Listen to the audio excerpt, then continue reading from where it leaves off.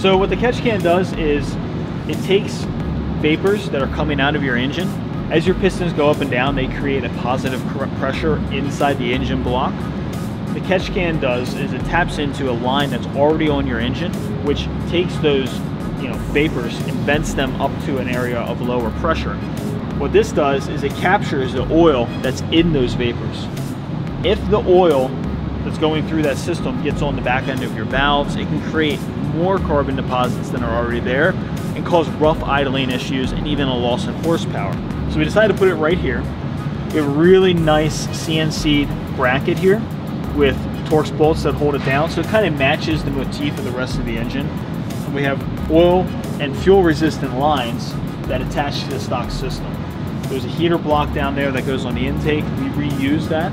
Basically just simply tapping into an already existing system and making it a little bit better.